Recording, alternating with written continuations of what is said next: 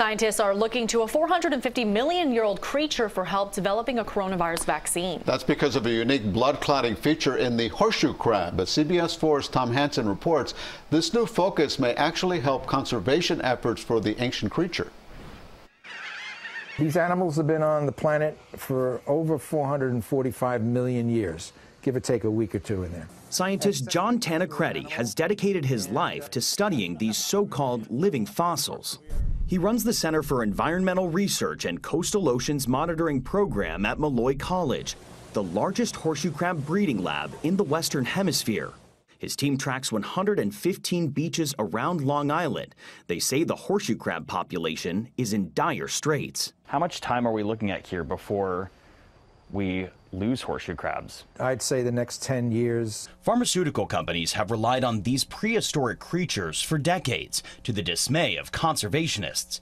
It's all because of how their blue blood keeps them safe, a unique feature that helps scientists quickly detect deadly bacterial toxins. John Dubczak is an executive director at Charles River Laboratories. The horseshoe crab blood is exquisitely sensitive to these endotoxin pyrogens.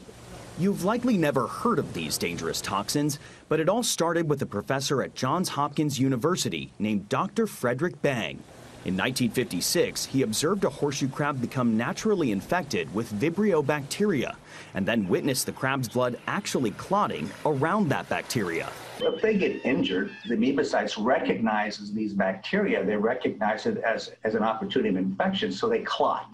That reaction became the basis for this test, which checks for bacterial contamination in any medical product that goes into the body before the manufacturer ships them out, including IV drugs, heart valves, and yes, vaccines. We have a 450 million year old creature that for the last 45 years has improved the safety of medicines for humans and animals.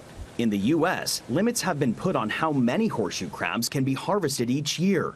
And while the humble horseshoe crab cells can be removed with no apparent harm to the creatures, studies show biomedical harvesting, overfishing for bait collection, and coastal development are causing a drop in the population, raising major questions about their survival. Once you lose them, they're gone. Extinction is forever. But with a global push for a COVID 19 vaccine underway, horseshoe crabs are once again in the spotlight, which Tancredi hopes will help conservation efforts. If enough of people can hear about it and talk to it, that helps in getting the attention. This has been going on long before pandemic as issues and concerns for these animals and, and our health. So I'm optimistic. I have to be. Tom Hanson, CBS News, West Sayville, New York.